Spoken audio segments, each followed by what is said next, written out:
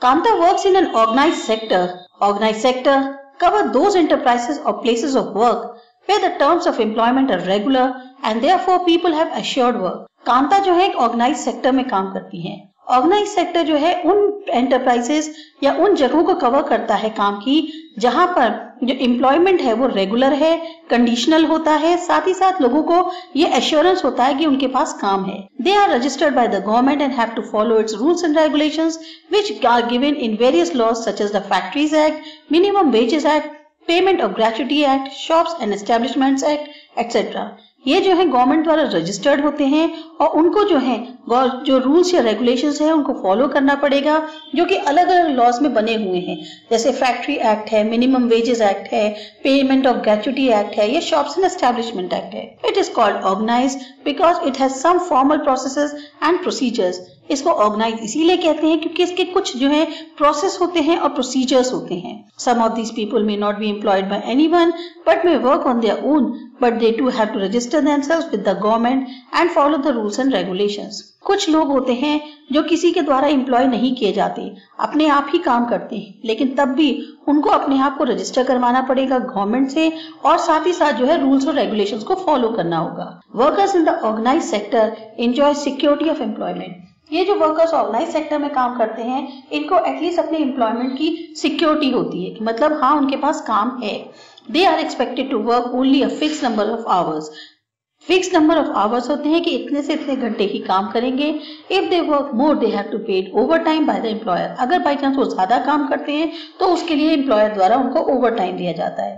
They also get several other benefits from the employers उनको और भी बहुत सारी सुविधाएँ एम्प्लॉयर्स द्वारा दी जाती हैं। व्हाट आर दीज बेनिफिट्स अब ये बेनिफिट्स क्या हैं? They get paid leave payment during holidays provident fund gratuity etcetera अब उनको जो है, अगर छुट्टी लेते हैं तो उसके भी पैसे नहीं कटते हैं। उनको हॉलीडेज जो है, वो भी क्या कहते हैं, अगर दी जाती हैं तो भी उनको पेमेंट किया जाता है उसका। प्रोविडेंट फंड मिलता है ग्रेचुटी मिलती है। They are suppose to get medical benefits and under the laws the factory manager has to ensure facilities like drinking water and safe working environment उनको मेडिकल बेनिफिट्स भी मिलती हैं। साथ ही साथ लॉ के हिसाब से जो फैक्ट्री मैनेजर है, उसको ये भी ध्यान रखना होता है कि सब सुविधा हो जैसे कि पीने का पानी या जो है अच्छा वर्किंग एनवायरमेंट भी मिलना चाहिए। When they retire, these worker gets pension as well. और जब ये रिटायर होते हैं तो इनको फिर पेंशन भी मिलती है। In contrast Kamal work in the unorganise sector अब जो उल्टा कहें तो कमल एक ऐसे काम सेक्टर में काम करता है जो अनऑर्गेनाइज है। The unorganise sector is characterise by small and scattered units which are hardly outside the control of the government ये जो अनऑर्गेनाइज सेक्टर्स हैं, ये बहुत छोटे छोटे और बिखरे हुए यूनिट्स होते हैं और ज़्यादातर गवर्नमेंट के कंट्रोल में नहीं होते। There are rules and regulations but these are not followed इनमें भी रूल्स एंड रेगुलेशंस होते हैं, पर उन्हें कोई मानता नहीं है। Jobs here are low paid and often not regular यहाँ पे जो लोग काम करते हैं, उनको काफ़ी कम तनख्वाह मिलती है, साथ ही साथ उनका काम रेगुलर नहीं है। There is no provision for over time paid leave holidays leave due to sickness etcetera ना इनका कोई ओवर टाइम होता है, ना इनको पेड लीव दी जाती है। छुट्टियाँ नहीं मिलती हैं या फिर अगर बच्चा बीमार पड़ गए तो भी वो छुट्टी लेंगे तो उसका पैसा नहीं मिलेगा। एम्प्लॉयमेंट इज़ नॉट सिक्योर यहाँ तक कि एम्प्लॉयमेंट की भी कोई गारंटी नहीं है। पीपल कैन बी आज to leave without any reason लोगों से कहा जा सकता है आप छोड़ के जा सकते हैं बिना किसी रीजन के। When there is less work such as during some seasons some people may be asked to leave. अगर कम काम है या सीज़न ऐसा है कि जब काम ज़्यादा नहीं है तो कुछ लोगों से कहा भी जा सकता है कि भाई आप काम से कल से, से काम पे मत आइए। A lot also depends on the whims of the employer.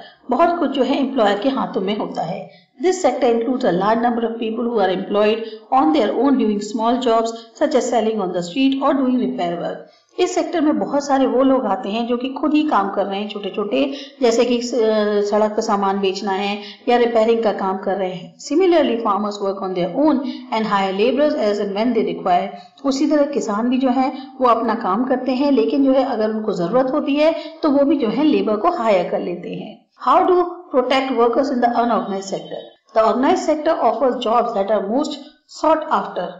ज़्यादातर ऑर्गेनाइज सेक्टर्स जो हैं, उन जॉब्स को देता है जिसकी ज़्यादा मांग होती है। But the employment opportunities in the organise sectors have been expanding very slowly लेकिन जो एम्प्लॉयमेंट अपॉर्चुनिटीज़ हैं ऑर्गेनाइज सेक्टर्स में, वो बहुत धीरे धीरे बढ़ रही हैं it is also common to find many organise sector enterprises in the unorganise sector और ये भी बहुत ज़्यादा कॉमन है कि जो जितने सारे ऑर्गेनाइज सेक्टर्स हैं, उसमें जो है भी आपको अनऑर्गेनाइज सेक्टर्स जो हैं, उनमें भी आपको काफ़ी सारे ऑर्गेनाइज सेक्टर्स की एंटरप्राइजेस मिल जाएँगी।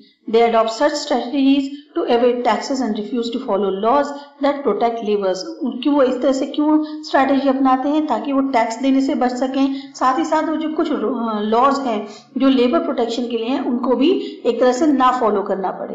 As a result a large number of workers are forced to enter the unorganised sector job result क्या होता है? कि बहुत सारे वर्कर्स जो है, उनको ज़बरदस्ती इन अनऑर्गेनाइज सेक्टर के जॉब्स में काम करना पड़ता है विच पे अ वेरी लो सैलरी और वो लोग पैसे बहुत कम देते हैं. They are often exploited and not paid a fair wage उनका ज़्यादातर शोषण होता है और उनको जो है सही पैसे भी नहीं मिलते हैं। Their earnings are low and not regular पैसे भी कम मिलते हैं और रेगुलर भी नहीं है। These jobs are not secure and have no other benefits ना तो इन जॉब की कोई सिक्योरिटी है, ना ही इनसे कोई और फ़ायदे मिलते हैं। Since the 1990s it is also common to see a large number of workers losing their job in the organised sector अभी 1990 से ऐसा हो रहा है कि बहुत सारे वर्कर्स जो हैं, उनको भी अपनी जॉब खोनी पड़ रही है ऑर्गेनाइज सेक्टर में। These workers are forced to take up the jobs in the unorganized sectors with low earnings. तो मजबूरी में जो वर्कर्स हैं वो क्या करते हैं अनऑर्गेनाइज सेक्टर्स में कम सैलरी पे भी काम करने को तैयार हो जाते हैं Hence, besides the need for more work, there is also a need for protection and support of the workers in the unorganized sector. अब खाली यही नहीं है कि हमें काम ज़्यादा चाहिए बल्कि ये भी होना चाहिए कि जो अनऑर्गेनाइज सेक्टर्स में वर्कर्स काम कर रहे हैं उनका भी हमें कायदे से प्रोटेक्शन और सपोर्ट करना चाहिए